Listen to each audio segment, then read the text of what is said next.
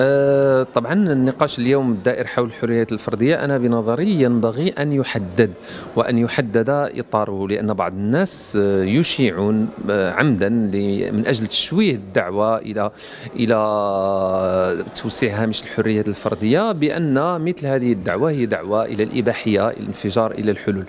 الموضوع في عند المنادين به يقصدون به بالضبط عدم تدخل الدولة في حياة الناس. هم لا يحللون ولا يحرمون. آه، حين نقول أننا ننادي بأن يكون الفرد حرا في تصرفاته واختياراته نحن لا نملي عليه لا أن يفعل ولا أن لا يفعل. وبالتالي القانون هو أيضا مسؤول عن هذا الأمر مسؤول عن تأطير علاقات الناس داخل المجتمع دون أن يتدخل في اختيار اختياراتهم الخاصة.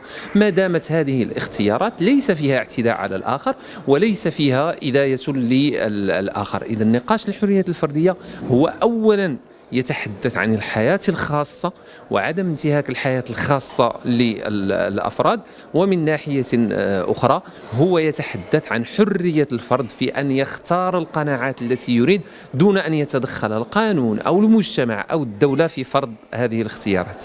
قبل ما تخرجوا ما تنساوش تابوناو في العشرين فبراير وتابعونا على المواقع التواصل الاجتماعي.